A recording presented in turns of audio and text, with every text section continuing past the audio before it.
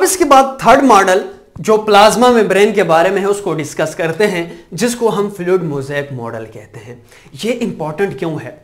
Fluid mosaic model इस वजह से इंपॉर्टेंट है कि ये डायनेमिक स्ट्रक्चर प्लाज्मा मेम्ब्रेन की बताता है, और अब तक मोर एकोरेट जो मॉडल है, वो क्या है? फ्लूड मोजैक मॉडल है। फ्लूड मोजैक मॉडल जो फ़र्स्ट टाइम प्रपोज किया, वो सिंगर एंड निकलसन ने 1972 में प्रपोज किया। यह मॉडल क्या कहता है? This model is basically says plasma membrane is semi fluid कि प्लाज्मा मेम्ब्रेन क्या है? सेमी फ्लूड है।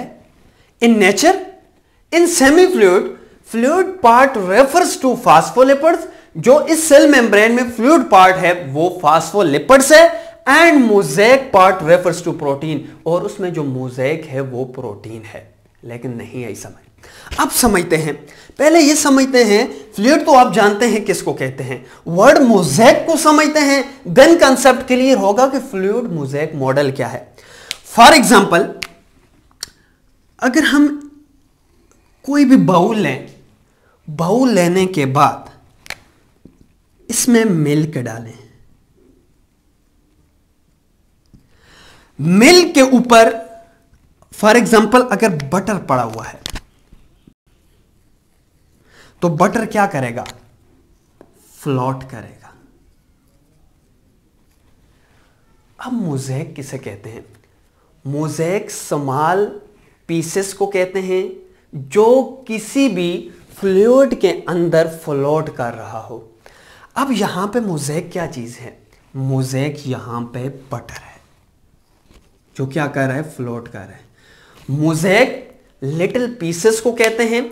फॉर एग्ज़ाम्पल जैसे आइसबर्ग है, सी के अंदर अगर फ्लोट कर रही है, उसके लिए भी वर्ड यूज़ करते हैं मोजैक का। या फॉर एग्ज़ाम्पल वाटर है, उस वाटर में अगर छोटे छोटे स्टोन्स पड़े हुए हैं, उन स्टोन्स के लिए वर्ड यूज़ किया जाता है मोजैक का। अब यहाँ पे समझते हैं कि फ्लूड मोजैक मॉडल का क्या मतलब है? यह कंसेप्ट हमें यह कहता है कि जो जो प्लाज्मा मेम्ब्रेन है, यह जो फास्फोलिपिड्स की बाई लेयर की ये फास्फोलिपिड्स बाई लेयर है, यह फ्लूड है। असल में क्या है? फ्लूड है सॉलिड नहीं है। इसके ऊपर प्रोटीन मोजेक कर रही है फ्लोट कर रही है। अब मोजेक का क्या मतलब है? मोजेक का मतलब होता है लिटिल पीसेस जो फ्लोट कर रही हो किसी फ्लूड पे। अब यहाँ पे फ्लूड क्या है? अगर इस केस में किया जाए तो इस केस में जो फ्लूड है, वो है फास्फोलिपिड्स अब फास्फोलिपिड्स कहाँ पे हैं? फास्फोलिपिड्स कहाँ पे हैं? डेफिनेटली सेल मेम्ब्रेन की लेयर्स में है।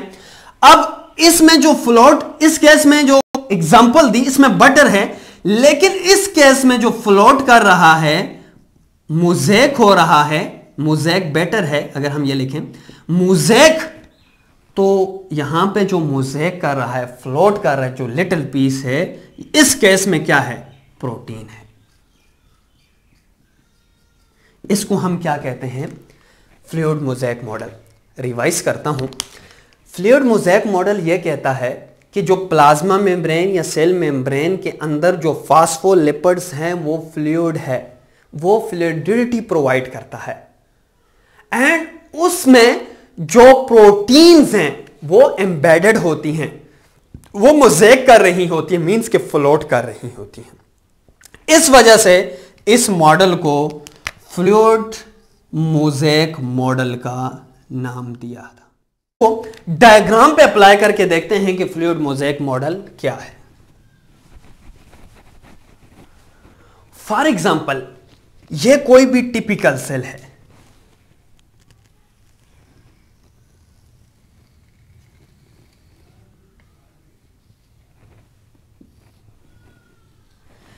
यह कोई भी टिपिकल सेल है, इस सेल का जो छोटा सा यहाँ से यहाँ तक का जो पार्ट था उसको हमने जूम कर दिया है। अब ये जो लेयर है, इसकी दो लेयर्स हैं, ये जो सेल मेम्ब्रेन है, इसकी दो लेयर्स हैं। एक आउटर लेयर्स है, जो बाहर क्या है? एक्सटर्नल इन्वायरमेंट है एक्सटर्नल इन्वायरमेंट है। और मेम्ब्रेन की जो दूसरी तरफ़ है, वो है प्लाज्म साइटोप्लाज्म या प्लाज्मा अब एक लेयर भी फास एक लेयर भी फास्फोलिपिड से मिलकर बनती है और दूसरी लेयर भी फास्फोलिपिड से मिलकर बनती है। इस वजह से इसको क्या कहते हैं? Bilayer phospholipid bilayer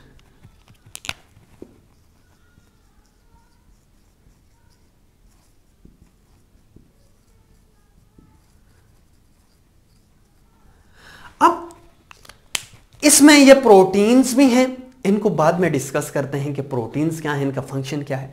अब सबसे पहले अगर फास्फोलिपिड की स्ट्रक्चर को डिस्कस करें। फास्फोलिपिड्स क्या है जो इसको फ्लूडिडिटी प्रोवाइड करती हैं? अगर इस फास्फोलिपिड्स में सिर्फ़ एक यूनिट को मैं लूँ, ये यूनिट को ली और इस यूनिट को ऐसे बाहर ले आए। तो इसका फास्फोलिपिड्स का एक हेड है और इसके साथ टेल्स लगी हुई हैं। ये जो हेड है, ये फास्फेट है और ये हेड पोलर है। और वाटर सालुबल है। वाटर सालुबल के लिए एक टर्म यूज़ होगी, जिसको हम कहते हैं hydrophilic hydro mean water and philic mean loving and दूसरी जो, दूसरा पार्ट है इसको हम फैटी एसिड कहते हैं। Fatty acid fatty acid tail fatty acid क्या है? इनसालुबल है नॉन सालुबल है। किसमें? वाटर में। इसके लिए टर्म यूज़ होती है हाइड्रोफोबिक की।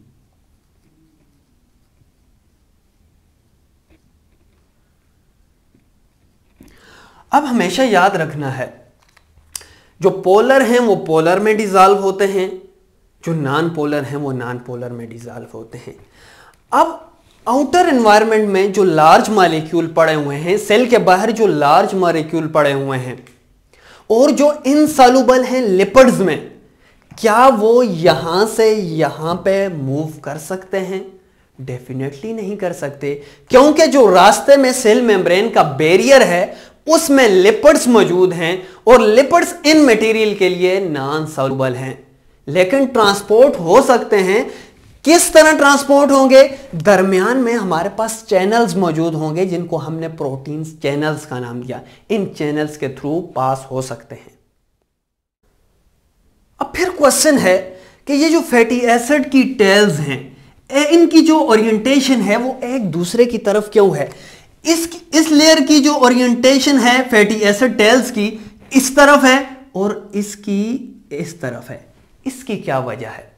इस ओरिएंटेशन की यह वजह है, इसकी यह रीजन है कि प्लाज्म जो है, यहाँ में भी वाटर मौजूद है। जो बाहर वाला एक्सटर्नल एनवायरनमेंट है सेल के जो बाहर है, वहाँ में भी क्या चीज़ मौजूद है? वाटर मौजूद है। अगर, और ये दो, ये क्या है? हाइड्रोफिलिक हैं। मीन्स के वाटर को डिजॉल्व नहीं करती। और यही रीजन है, एक दूसरे की ओरिएंटेशन में है, एक दूसरे की सिमत में है, ताकि क्या हो वाटर डिजॉल्व ना हो सके। इसी वजह से इनकी जो ओरिएंटेशन है फैटी एसिड की जो ओरिएंटेशन है, जो टेल्स की फास्फोलिपिड्स में ओरिएंटेशन है, वो एक दूसरे की तरफ़ होती है। जो हमने प्रीवियस मॉडल डिस्कस किए थे, कौन से? Sandwich model and unit membrane model वो ये क्या कहता था कि जो बाहर वाली सेल मेम्ब्रेन की जो बाहर वाली लेयर है वो भी प्रोटीन है। प्रोटीन की लेयर से मिलकर बनती है। जो इनर मेम्ब्रेन है, इनर लेयर है, वो भी किससे मिलकर बनती है? प्रोटीन से मिलकर बनती है। लेकिन ये फ्लूड मोजैक मॉडल इस कंसेप्ट को गलत कहता है। वो ये कहता है, एक तो प्रोटीन की जो है वो फ्लोट करती हैं, वो लेयर उस तरह सीक्वेंस अरेंजमेंट है भी नहीं है। और दूसरा ये कि ऊपर वाली की जो लेयर है और जो नीचे वाली, आउटर आउटर लेयर और इनर जो लेयर है इन दोनों लेयर्स की कंपोजिशन में भी डिफरेंस है। कौन सी क्या डिफरेंस है? जो आउटर लेयर है आउटर लेयर में ये तीन केमिकल्स एक्स्ट्रा पाए जाते हैं, जिसको क्या कहते हैं? Phosphatidyl choline outer external layer में पाई जाती है, जबकि इनर लेयर में नहीं होती। दूसरा है sphingomyelin and third one है फास्फोटिडाइल सेरीन ये जो तीन हैं केमिकल्स ये किसमें पाए जाते हैं? आउटर में पाए जाते हैं और इनर में नहीं पाए जाते। ये भी कंसेप्ट क्लियर हो गए कि इनकी नेचर जो है वो सेम नहीं होती। इसके अलावा आउटर में कार्बोहाइड्रेट्स ग्लाइको प्रोटीन की फॉर्म में भी पाया जाता है। इसको जस्ट रिकैप करते हैं ताकि क्लियर हो जाए। जो सेल मेम्ब्रेन है, वो क्या सॉलिड फॉर्म में है? सर नहीं है। क्या ये फ्लूड फॉर्म में है? जी फ्लूड फॉर्म में है। लेकिन ये बात याद रखनी है कि फ्लूड किस वजह से है? इन फास्फोलिपिड्स की लेयर्स की वजह से। इनकी नेचर जो है वो फ्लूड की है। अब फिर क्वेश्चन है, क्या इनकी शेप चेंज नहीं होती? ये फ्लूड की फॉर्म में है, एक कांस्टेंट शेप में रखती हैं, एक कांस्टेंट शेप सेमी फ्लूड की फॉर्म में है, और अपना फ़ंक्शंस को मेंटेन रखती हैं सेल के अंदर। इसकी भी रीजन है, बाद में डिस्कस करेंगे कि फ्लूड की क्या इंपॉर्टेंस है। फिर इसके बाद हमने यह डिस्कस किया कि जो आउटर लेयर है सेल मेम्ब्रेन की, जो इनर लेयर है, इन दोनों की जो नेचर है, उनमें भी डिफरेंस होता है। अब डिस्कस करते हैं कि सेल मेम्ब्रेन की जो फ्लूडिडिटी है, जो फास्फोलिपिड्स की वजह से है ये किस फैक्टर्स पर डिपेंड करती है? इसकी अगर फ्लूडिडिटी की बात करें, जो फास्फोलिपिड सेल मेम्ब्रेन को, जो प्लाज्मा मेम्ब्रेन है, उसको फ्लूडिडिटी की प्रॉपर्टी देता है, जो प्लाज जो फ्लूड मोजेक मॉडल का कंसर्न है।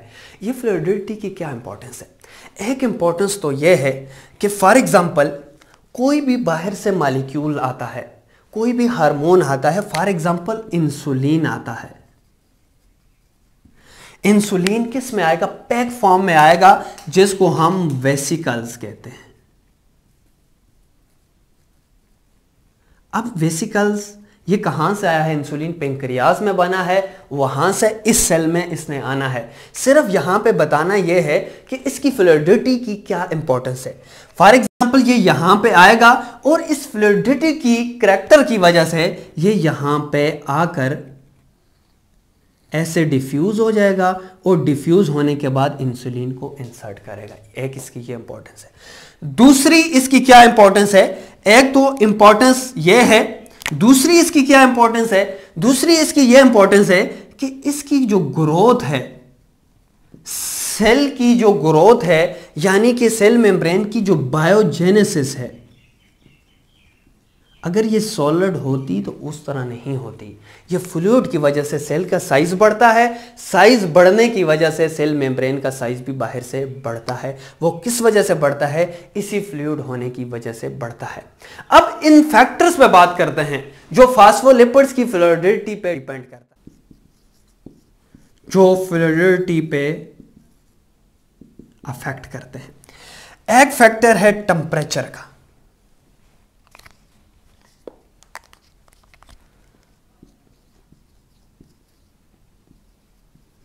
अगर टेम्परेचर सेल का ज़्यादा है तो देन सेल मेम्ब्रेन की जो फ्लूडिटी है, वो ज़्यादा होगी कि नहीं होगी? जितना ज़्यादा टेम्परेचर होगा, उतनी ही फ्लूडिटी क्या होगी?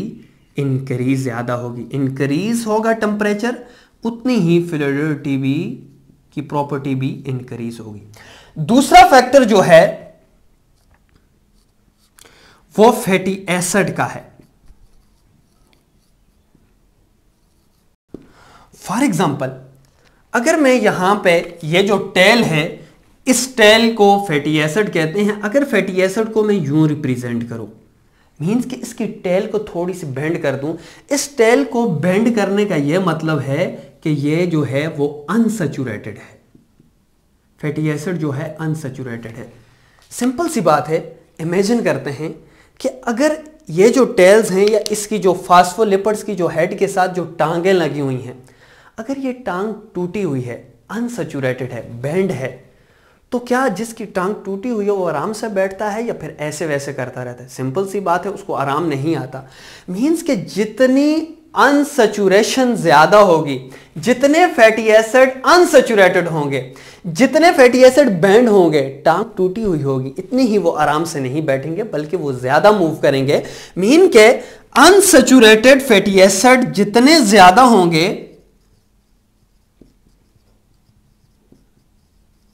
उतनी ही फ्लूडिटी भी इंक्रीज होगी। एंड जो थर्ड फैक्टर है, वो है कोलेस्टेरॉल अगर आप देखें, इन दो लेयर्स में, इन दो लेयर्स में आपको कहीं कोलेस्ट्रॉल भी नज़र आ रहा है। इसको क्या कहते हैं? कोलेस्ट्रॉल कहते हैं। अब अगर इन लेयर्स में कोलेस्ट्रॉल की अमाउंट ज़्यादा है फॉर एग्जांपल ज़्यादा है तो ज़्यादा फ्लूडिटी होगी या कम होगी? सिंपल सी बात है, अगर इसमें कोलेस्ट्रोल ज़्यादा है तो फैटी एसिड टाइट हो जाएँगे एक दूसरे के साथ और मूव नहीं कर सकेंगे। मींस के कोलेस्ट्रॉल का लेवल जितना इंक्रीज होगा उतनी ही डिक्रीज होगी। क्या चीज़? फ्लूडिटी अब जस्ट रिकैप करते हैं, ताकि क्लियर हो जाए। जो फ्लूड प्रॉपर्टी है सेल मेम्ब्रेन की, वो फास्फोलिपिड्स की लेयर्स की वजह से है। ये सॉलिड फॉर्म में नहीं होता, बल्कि सेमी सॉलिड की फॉर्म में होता है और कॉन्स्टेंट शेप और फ़ंक्शंस को मेंटेन रखता है। इसके ऊपर जो प्रोटीन है, वो फ्लोट करती है, जिसको हमने मोजेक का नाम दिया है। फिर उसके बाद हमने ये डिस्कस किया कि इसकी नेचर और इस लेयर की नेचर भी सेम नहीं होती, जैसे प्रीवियस जो मॉडल्स हैं, उसमें एक्सप्लेन किया। इसमें और मालिक्यूल्स पाए जाते हैं और इसमें और है। फिर उसके बाद हमने उन ये डिस्कस किया कि ये जो ओरिएंटेशन है, या ये जो फास्फोलिपर्स हैं, इनकी जो इंपॉर्टेंस है, वो क्या है? मींस के ये फ्लूडिटी की क्या इंपॉर्टेंस है सेल मेम्ब्रेन में? क्यों इंपॉर्टेंस है? क्योंकि सेल मेम्ब्रेन की बायोजेनेसिस ग्रोथ होती है। दूसरा, बाहर से अगर कोई भी केमिकल्स आता है तो इजीली डिफ्यूज करता है। अगर सेल मेम्ब्रेन सॉलिड फॉर्म में हो तो बाहर से कोई भी हार्मोन्स या केमिकल्स आएगा तो वो सेल के अंदर अगर ज़रूरत है तो डिफ्यूज नहीं कर सकेगा। फिर उसके बाद हमने फैक्टर्स बढ़े कि फास्फोलिपिड्स की वजह से जो फ्लूडिटी है, इसके कौन कौन से फैक्टर्स हैं? उसमें सबसे पहले हमने देखा कि टेम्परेचर का। अगर टेम्परेचर ज़्यादा है तो फ्लूडिटी उतनी ही ज़्यादा होगी। अगर अनसेचुरेटेड फैटी एसिड ज़्यादा हैं अनसेचुरेटेड फैटी एसिड ज़्यादा हैं तो देन क्या होगा? फ्लूडिटी ज़्यादा होगी। अगर लेवल ऑफ़ कोलेस्ट्रोल ज़्यादा है तो क्या होगा? फैटी एसिड को टाइटली पैक कर देंगे, उनको मूव नहीं होने देंगे। तब भी फ्लूडिटी क्या होगी? कम फास्फोलिपिड्स यानी लिपिड्स भी पढ़ा था कि लिपिड्स कितनी परसेंटेज है? प्रोटीन की एंड कार्बोहाइड्रेट्स की। अब फास्फोलिपिड्स को हमने डिटेल से डिस्कस कर दिया कि फ्लोरिडिटी भी देता है। इसके अलावा उसकी जो फैक्टर्स हैं, उनकी, इसकी इंपॉर्टेंस क्या है फास्फोलिपिड्स की और उसकी फ्लोरिडिटी है, वो किस पे डिपेंड करती है। अब जो कंपोजिशन में दूसरा पार्ट था प्रोटीन अब उसको डिस्कस करते हैं। फॉर एग्ज़ाम्पल ये कोई भी टिपिकल सेल है, इस जगह को, इस एग पॉइंट को हम जूम करके दिखाते हैं। फॉर एग्ज़ाम्पल यू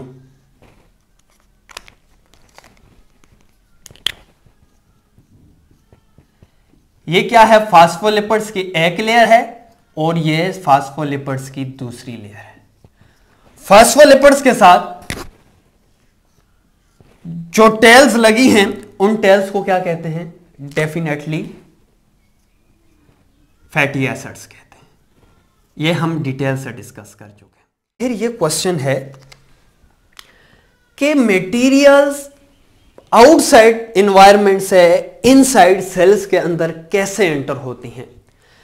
हमेशा याद रखना है, ये जो फास्फोलिपिड्स की जो लेयर्स हैं, ये जो लिपिड्स हैं lipids highly charged egg point large molecules को एंटर नहीं होने देते. इनसालुबल जो हैं सब्सटेंस उनको एंटर नहीं होने देते। नॉन पोलर सब्सटेंस को एंटर नहीं होने देते। फिर क्या होगा? कैसे बाहर वाले इन्वायरमेंट से इंटरनल इन्वायरमेंट में सब्सटेंसेस जो होंगी, वो इंटर होंगी? अब इस फास्फोलिपिड्स में स्पेसिफिक टाइप की प्रोटीन पाई जाती है।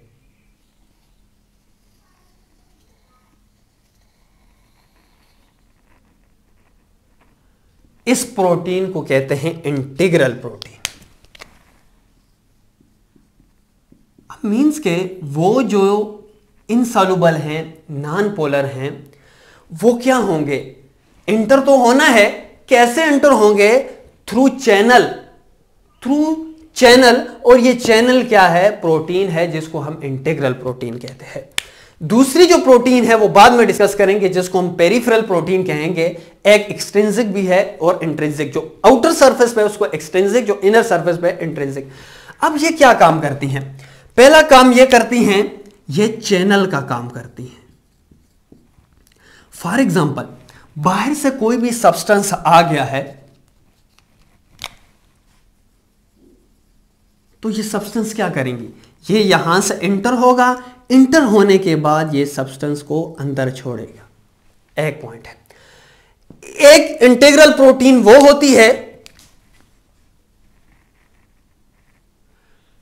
जो कैरियर का काम करती है। कैरियर का क्या मतलब है? फॉर एग्ज़ाम्पल बाहर से सब्सटेंस आया सब्सटेंस को पिक किया पिक करने के बाद अपनी शेप को चेंज किया।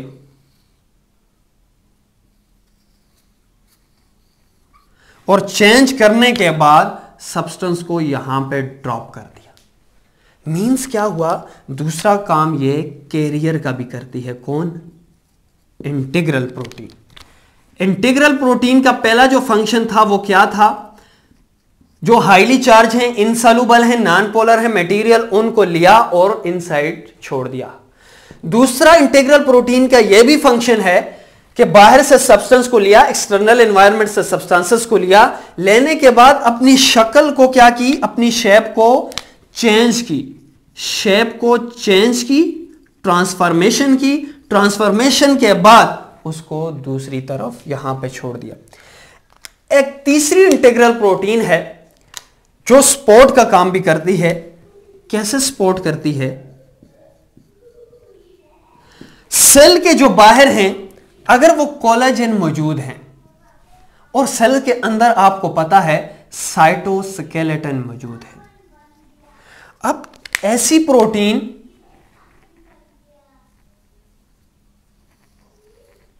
जो अंदर से, सेल के अंदर साइटोस्केलेटन को पकड़ के रखती हैं, और अपनी जगह पर फिक्स होती हैं, और बाहर से इस कोलाजन को पकड़ के रखती हैं। इसके क्या इंपॉर्टेंस है? सेल को जो है, वो स्पोर्ट मिलती है। अब इंटीग्रल प्रोटीन के बाद जो दूसरी प्रोटीन है, जिसको पेरिफेरल प्रोटीन कहते हैं। पेरिफेरल प्रोटीन वो प्रोटीन है, जो इनर सरफेस और आउटर सरफेस के साथ अटैच होती है। ये लूजली बाइंड होती हैं, ये कोवेलेंटली बाइंड नहीं होती, ये इजीली रिमूव हो सकती हैं। इनको देखते हैं, इनका क्या फ़ंक्शन है? फॉर एग्ज़ाम्पल जो आउटर प्रोटीन है, इसको हम कहेंगे एक्सट्रिंजिक जो outer surface of cell membrane से अटैच है। जो इनर है, इसको हम इंट्रिंजिक कहेंगे। अब इनका फ़ंक्शंस क्या है? इनका एक फ़ंक्शन तो वही है, जैसे कि इंटीग्रल का है, कि ये स्पोर्ट देती हैं। बाहर मटेरियल अगर किसी के साथ अटैच हैं तो इनर जो है, वो सेल को क्या करती हैं? सपोर्ट करती हैं। दूसरा फ़ंक्शन ये है कि फॉर एग्जांपल ये इंटीग्रल प्रोटीन है इंटीग्रल प्रोटीन का डोमेन बाहर से शुरू होता है, सेल के बाहर और इनर तक हो सकता है। लेकिन जो पेरिफेरल प्रोटीन है, ये अंदर होंगी या बाहर होंगी। अब क्या करेगा? ये फॉर एग्जांपल इंटीग्रल है। इंटीग्रल अगर ये रिसेप्टर का काम कर रहा है, बाहर से कोई भी सिग्नल आएगा तो इंटीग्रल प्रोटीन यहाँ से सिग्नल को रिसीव करेगा। रिसीव करने के बाद सिग्नल अंदर जो दूसरी प्रोटीन है उसको देगा और दूसरी प्रोटीन कौन सी है? सेल मेम्ब्रेन की, जो अंदर वाली साइड पे है, उसको इंट्रेंसिक प्रोटीन ये क्या करेगा? सिग्नल को सिग्नल को रिसीव करेगा और सिग्नल को रिसीव करने के बाद रिस्पॉन्स के लिए सेल को स्टिमुलाई देगा। मीन्स के एक फ़ंक्शन तो इसका यह है कि इंटीग्रल प्रोटीन ने मैसेज लिया, किसको दिया? इंट्रेंसिक प्रोटीन को और इंट्रेंसिक प्रोटीन ने आगे रिस्पॉन्स किया। अब रिवाइज करते हैं कि हमने आज क्या क्या डिस्कस किया है। फ्लूड मोजेक मॉडल डिस्कस किया, जो 1972 में टू साइंटिस्ट ने दिया था, जिसको निकोलसन एंड सिंगर कहते हैं। फ्लूड मोजेक मॉडल क्या है? फ्लूड मोजेक मॉडल यह है कि जो सेल मेम्ब्रेन है, वो सॉलिड फॉर्म में नहीं है, बल्कि सेमी फ्लूड की फॉर्म में है। और सेमी फ्लूड किस वजह से है? उसमें फास्फोलिपिड्स पाया जाता है। उसके बाद फिर इसको मुजेक क्यों कहते हैं? मुजेक इस वजह से कहते हैं मुजेक कहते हैं लिटिल पीसेस को, जैसे आइसबर्ग जो है वो सी में अगर फ्लोट कर रही हैं तो उस आइसबर्ग के लिए क्या वर्ड यूज़ किया जाता है? मोजेक का। जैसे दूध में अगर बटर फ्लोट कर रहा है तो बटर का किसके लिए वर्ड फ्लूड में जो बटर है, वो फ्लोट कर रहा है तो उसके लिए वर्ड यूज़ किया था मोजेक का। तो फास्फोलिपिड्स क्या है? फ्लूड है, और इसके, इसमें जो चीज़ें तैर रही हैं फ्लोट कर रही हैं, वो क्या है? प्रोटीन है। इसी वजह से जो इस मॉडल का नाम था, वो फ्लूड मोजेक मॉडल था। फिर उसके बाद हमने फास्फोलिपिड्स देखा कि फास्फोलिपिड्स क्या है? इसकी क्या प्रॉपर्टीज़ क्या है? सेल की क्या इंपॉर्टेंस है? एक इंपॉर्टेंस तो ये थी कि इसने ग्रोथ में इंपॉर्टेंट है बायोजेनेसिस में इंपॉर्टेंट है। दूसरी यह है कि बाहर से कोई भी मैसेज आता है वेसिकल्स के फॉर्म में कोई भी हार्मोन्स आता है तो इजीली डिफ्यूज करता है। फिर उसके बाद हमने फैक्टर्स को डिस्कस किया। कि फास्फोलिपिड्स की फ्लूइडिटी की क्या फैक्टर्स हैं? एक टेम्परेचर है। जितना टेम्परेचर ज़्यादा होगा, उतनी ही सेल मेम्ब्रेन की फ्लूइडिटी ज़्यादा होगी।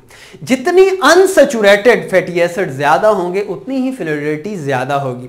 जितने कोलेस्ट्रोल ज़्यादा होंगे, उतने ही, क्या चीज़ कम होगी? फ्लूइडिटी कम होगी। फिर फैक्टर्स पढ़े। फिर उसके बाद हमने प्रोटीन्स को डिस्कस करना शुरू किया कि प्रोटीन्स क्या हैं। प्रोटीन्स बेसिकली टू टाइप्स की होती हैं एक को एक को पेरिफेरल कहते हैं, जिसमें बाहर वाली को एक्सटेंसिक और इनर साइड वाली को इंट्रेंसिक कहते हैं। इसके अलावा एक वो जिसका डोमेन बाहर से आउटर एनवायरनमेंट से इनर एनवायरनमेंट तक हो, उसको हम इंटीग्रल कहते हैं। इंटीग्रल का काम क्या था? सिग्नल को रिसीव करना इनर साइड पे देना। मटेरियल जो इंसॉल्युबल हैं जो बाहर वाले एनवायरनमेंट से इनर एनवायरनमेंट में नहीं आते, यहाँ से रिसीव करके इनर एनवायरनमेंट को देना। इसके अलावा कैरियर का काम करना स्पोर्ट का काम करना। फिर हमने लास्ट में जो दूसरी पेरिफेरल थी, वो देखा कि पेरिफेरल का काम तो स्पोर्ट का भी है और दूसरा ये फ़ंक्शन है कि अगर कोई भी मैसेज है जो इंटीग्रल प्रोटीन ने रिसीव किया है इनर साइड दिया है और इनर साइड आगे क्या चीज़ बैठी हुई है? दूसरी प्रोटीन जिसको हम इंट्रेंसिक प्रोटीन वो रिसीव करके सेल को देता है। एंड लास्ट में जो लिपिड्स है, वो ग्लाइको प्रोटीन की फॉर्म में सेल्स के ऊपर सेल मेम्ब्रेन के ऊपर पाया जाता है। फॉर एग्ज़ाम्पल ये ग्लाइको प्रोटीन है। ग्लाइकोप्रोटीन और ग्लाइकोकैलेक्स जो है ग्लाइकोलिपिड्स हैं, ये ग्लाइकोप्रोटीन है, वो सरफेस में मौजूद होती है और इसका क्या फ़ंक्शन है? रिकॉग्निशन का फ़ंक्शन है। बाहर से कोई भी मटेरियल कोई भी पैथोजेंस या कोई भी चीज़ आती है, कोई भी रिसेप्टर आता है, कोई भी मैसेज आता है तो ये उसको रिकॉग्नाइज करता है। क्या सेल्स के लिए ये इंपॉर्टेंस है? सेल के लिए ठीक है या सेल के लिए हार्मफुल है? मीन्स के ग्लाइकोप्रोटीन और ग्लाइकोकैलेक्स का मोस्टली काम जो है वो रिकॉग्निशन का है। रिकॉग्निशन करता है कि सेल के लिए ये हार्मफुल तो नहीं है। इनशाला नेक्स्ट लेक्चर में जो नेक्स्ट टॉपिक है, वो डिस्कस करेंगे। अल्लाह हाफिज़।